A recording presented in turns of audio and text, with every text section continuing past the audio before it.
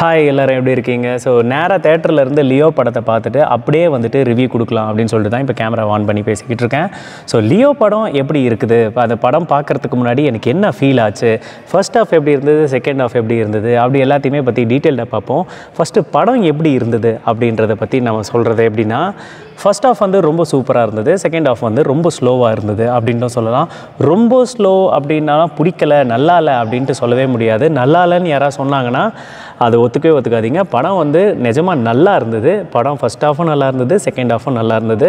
First half வந்து ஒரு படம் கதை இல்லாமல் போன மாதிரி இருந்தது. அதாவது ஃபஸ்ட் ஹாஃப் ஃபுல்லாகவே வந்து எப்படி இருந்ததுன்னா ஒரு மாசான சீன் படம் ஃபுல்லாக வந்து ஒரு பில்டப்பான சீன் ரொம்ப பியூட்டிஃபுல்லாக வந்து லவ் காமிச்சது ஃபேமிலி காமிச்சது ரெஸ்டாரண்ட்டை பற்றி காமிச்சது. அந்த பார்த்திபன்ற கேரக்டரை பற்றி டீட்டெயில்டாக எக்ஸ்பிளைன் பண்ணது. அதுக்கப்புறம் நிறைய பியூட்டிஃபுல்லான சீன்ஸ் எல்லாத்தையுமே வந்து ஃபஸ்ட் ஹாஃபில் காட்டியிருந்தாங்க. ஹீரோவோட என்ட்ரி இந்த ஹைனாவை பற்றி ஐனாவை வந்து பிடிச்ச சீனு ஸோ இந்த மாதிரி எல்லாமே வந்து டீட்டெயில்டாக வந்து ஃபஸ்ட் ஹாஃபில் வந்து ரொம்ப பியூட்டிஃபுல்லாக காமிச்சிருந்தாங்க. ஃபஸ்ட் ஹாஃப் முடிகிற வரைக்கும் பார்த்தீங்கன்னா கதை வந்து பெருசாக ஸ்டார்ட் ஆகலை. கொஞ்சம் கொஞ்சம் கதை வந்து லைட்டாக வந்ததே தவிர படம் வந்து ஃபுல்லாக வந்து ஃபஸ்ட் ஹாஃபில் ஸ்டார்ட் ஆகலை.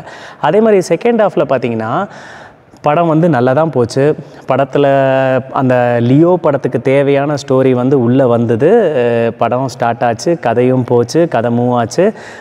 இதில் வந்துட்டு என்ன வந்து அப்புறம் எனக்கு குறையா தெரிஞ்சது அப்படின்ட்டு நான் சொல்கிறேன் நீங்கள் யாரும் தப்பாக எடுத்துக்காதீங்க. நான் வந்து ஆன்டி விஜய் ஃபேனோ ஸோ வேறு யாரோ ஃபேனோலாம் இல்லை. எனக்கு தோணுனது ஒரு நார்மல் ஆடியன்ஸாக நான் வந்து சொல்கிறேன் என்ன ப்ராப்ளம் அப்படின்ட்டுனா ஃபஸ்ட்டு வந்து ரெண்டு விஷயங்கள். ஒன்று வந்து இந்த படம் ஸ்டார்டிங் நான் போய் உள்ளே உட்காரும் போதுலேருந்தே எனக்கு வந்து எல்சியு அப்படின்னு சொல்லிட்டு ஒரு விஷயத்தை வந்து கிளப்பி விட்டாங்க. அதாவது லோகேஷ் கனகராஜ் வந்து ஆல்ரெடி எடுத்த கைதி படத்தையும் இதுக்கு முன்னாடி எடுத்த விக்ரம் படத்தையும் வந்துட்டு ஜாயின் பண்ணியிருக்காரு.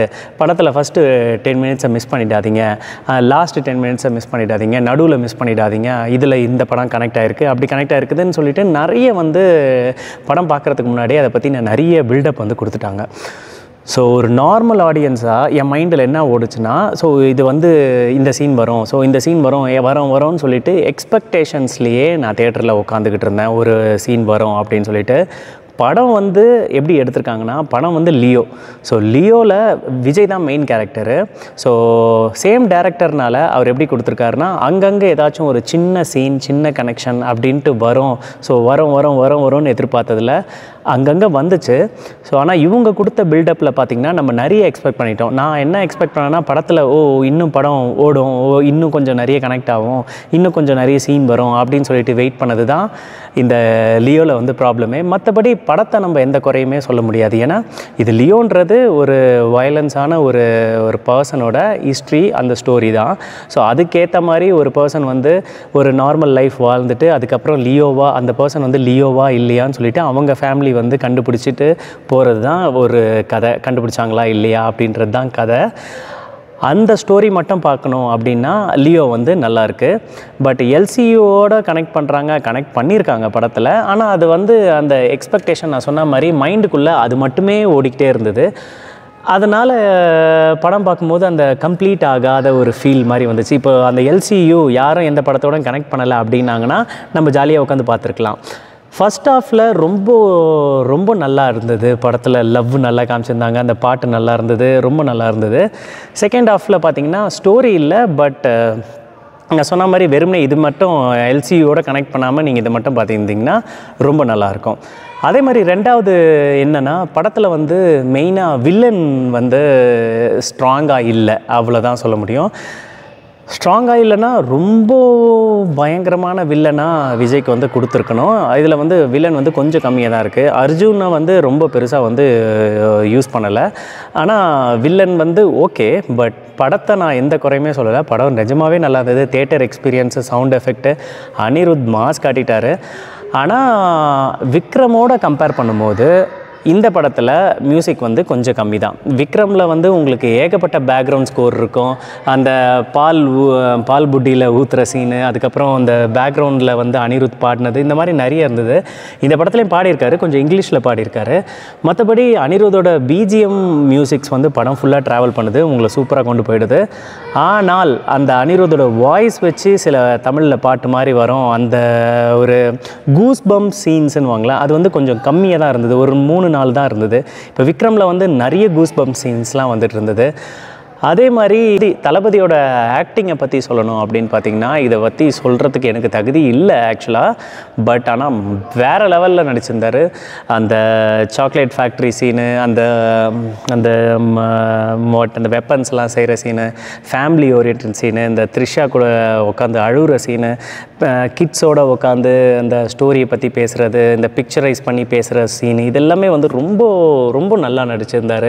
இதுக்கு முன்னாடி பார்த்த விஜய்க்கும் இதுக்கு முன்னாடி பார்த்த விஜய் படம்னா எப்படி இருக்கும்? நேராக உள்ளே போனோன்னே ஒரு இன்ட்ரடக்ஷன் சாங்கு டைட்டில் சாங்கு வேறு யாராவது எடுத்திருந்தாங்கன்னா அந்த ரெடி தான் வரவா பாட்டு வந்து ஃபஸ்ட் ஆஃப்லேயே ஃபஸ்ட்டு சீன்லேயே வந்துட்டுருக்கோம் ஹீரோ இன்ட்ரடக்ஷனாக அந்த மாதிரி வராமல் படத்தோட செகண்ட் ஆஃப்ல ஸ்டோரியில் தான் வந்துச்சு. பட் இந்த படம் வந்து ரொம்ப ஒரு பியூட்டிஃபுல் தேட்டர் எக்ஸ்பீரியன்ஸாக இருக்கும். கண்டிப்பாக இருக்குது. ஏன்னா நான் அதை எக்ஸ்பீரியன்ஸ் பண்ணி தான் வந்திருக்கேன். கடைசியாக ஒரு லியோவா அப்படி நான் தான் லியோ அப்படின்ட்டு அந்த சொல்கிற சீனு அந்த கார் சேசிங் ஃபைட் லைட்ஸ் அதில் சில கிராஃபிக்ஸ்லாம் யூஸ் பண்ணியிருக்காங்க. அதெல்லாம் ரொம்ப நல்லா இருந்தது. தேட்டரில் வந்து எதுவுமே வந்து ரொம்ப கிராஃபிக்ஸ் ரொம்ப மொக்கையாவோ அப்படிலாம் இல்லை. ரொம்ப நல்லா இருந்தது பார்க்குறதுக்கு சிஇஓ பற்றி சொல்லணும் அப்படின்னா இந்த படத்தில் ஃபஸ்ட்டு வந்து பார்த்திங்கன்னா கைதி டெல்லியை பற்றி ஒரு லைன் வந்து ஒன்று வந்துச்சு.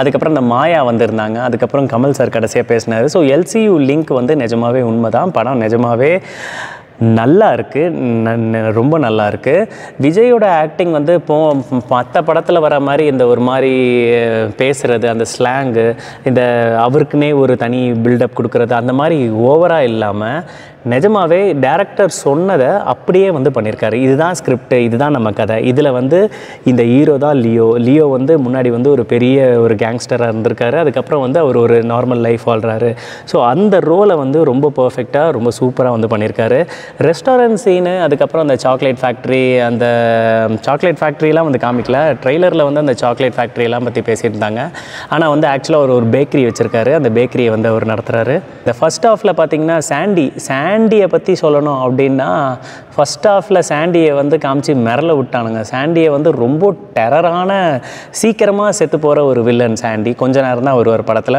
அதுக்குள்ளே விஜய் வந்து அவர் போட்டு தள்ளிடுவார். அப்படிப்பட்ட சாண்டியவே வந்து ரொம்ப டெரர் டெரராக காட்டியிருந்தாங்க. ஆனால் மெயின் வில்லனை வந்து அவ்வளோ டெரராக காமிக்கல. சாண்டி வந்து செம்மையாக நடிச்சிருக்காரு. அவரோட கண்ணுக்கு போட்டிருந்த அந்த இதுவே அந்த ஃபைட் சீனு அவரை அவரோட டெரராக காட்டுறது மிஸ்கின் இவங்க எல்லாருமே வந்து ரொம்ப ஒரு நல்ல காம்பினேஷனாக ஃபஸ்ட்டு ரொம்ப நல்லா இருந்தது.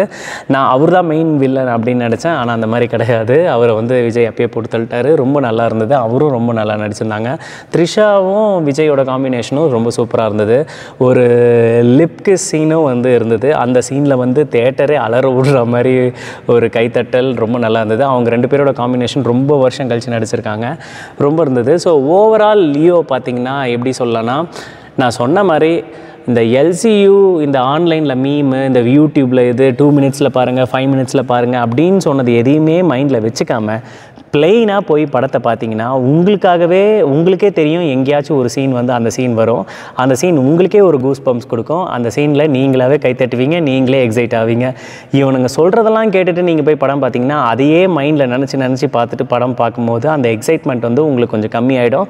ஸோ வெளியில் வந்துட்டு பிளைண்டாக படம் நல்லா இல்லை நான் எக்ஸ்பெக்ட் பண்ணதுக்கு ஈக்குவலாக படம் வரல அப்படின்னு சொல்லிடாதீங்க. அது ரொம்ப ஒரு தப்பான விஷயம். நீங்கள் தான் எக்ஸ்பெக்ட் பண்ணீங்க. நானும் எக்ஸ்பெக்ட் பண்ணிட்டேன் ஏன்னா நம்ம எல்லாருமே சோஷியல் மீடியாவை யூஸ் பண்ணுவோம். கண்டபடி கண்டதை இஷ்டத்துக்கு அவன் அவன் போட்டு போட்டு போட்டு போட்டு விடுறான். அதெல்லாம் நம்ம பார்த்துட்டு ஓவர் எக்ஸைட்மெண்ட்டில் தான் போய் பார்த்துட்டு தப்பாக வந்து ரிவ்யூ சொல்லிடக்கூடாதுல ஸோ அதனால தான் சொல்கிறேன் ஸோ படம் நிஜமாகவே நல்லாயிருக்கு போய் பாருங்கள் லியோ நிஜமாகவே தேட்டரில் போய் பார்க்க வேண்டிய ஒரு படம். இன்னொரு வீடியோவில் இன்னொரு கண்டென்ட்டில் பார்ப்போம். நான் ஏதாவது தப்பாக பேசியிருந்தாலும் நான் எதை வச்சு மாற்றி பேசியிருந்தாலும் கமெண்ட்டில் சொல்லுங்கள் பார்ப்போம். யாரும் எந்த அஃபென்ஸ் ஆகிடாதீங்க டேக் கேர் நான் இன்னொரு வீடியோவில் இன்னொரு கண்டென்ட்டில் பார்க்குறேன். பாய் மெயினாக நான் இன்னொரு விஷயம் சொல்ல மறந்துட்டேன். படம் பார்த்து முடிச்சதுக்கப்புறம் தயவுசெய்து ஏஞ்சி போயிடாதீங்க. அந்த டைட்டில் அந்த பின்னாடி கிரெடிட்ஸ் போடுவாங்களே கேஸ்ட்டு கேஸ்ட் அண்ட் க்ரூ அந்த டைமில் ஒரு சாங் ஒன்று வரும்.